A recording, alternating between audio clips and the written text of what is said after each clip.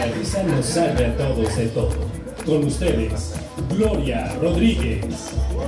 Mira, el stand-up comedy es un género nuevo, es un- una subrama de la comedia que ha tenido como apogeo en los últimos nueve años, pero si tuviéramos que definirla, creo que hay dos cosas que la clasifican.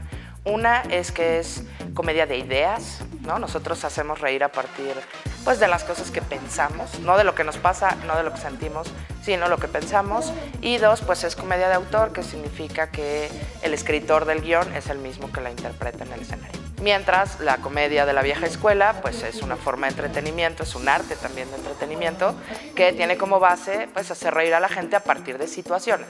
Entonces creo que el que uno sea comedia de cosas que pasan y la otra es comedia de cosas que piensas.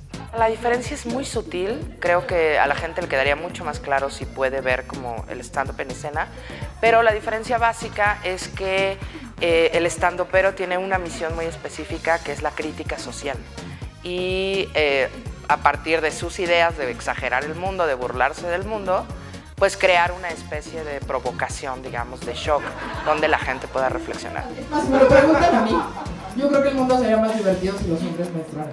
Porque si los hombres menstruaran, lo primero que pasaría es que habría competencia, saber quién menstrua más chingón. Yo creo que la gente que hacemos comedia, indiscutiblemente nos juzgamos a partir de cuánto hace reír, si es mucho o poco, y yo creo que ese no es un parámetro real. Yo creo que una persona que quiera hacer stand-up, que quiera acercarse al taller, lo primero que tiene que sentir es la necesidad de hacerlo, como esta urgencia de me han pasado cosas, he vivido cosas, veo cosas, me urge decirlo. Porque las mujeres la vamos de todo por todo. O sea, la armamos tanto de pedo que las canciones que más nos gustan son esas donde las mujeres la arman de pedo. ¿No? O sea, es como nuestro himno. Pues ahí estamos oyendo a Paquita del Barrio. A México le urge, yo creo que al mundo entero le urge. Creo que el stand-up comedy se ha vuelto tan popular y tan famoso de la noche a la mañana. Creo que no es novedad, la gente estamos tan tensos todos, estamos tan estresados, que finalmente la risa es una válvula de escape para relajar el sistema nervioso.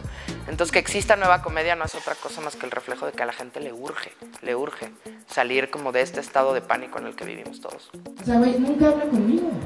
O sea, vivimos juntos y no sabe qué sueño, qué pienso, cuáles son mis aspiraciones. No saben qué trabajo, qué me gusta, qué no me gusta. El pendejo no le importo. Llega el cabrón y te dice que tienes nada. ¿Me hubieras contado, pendeja?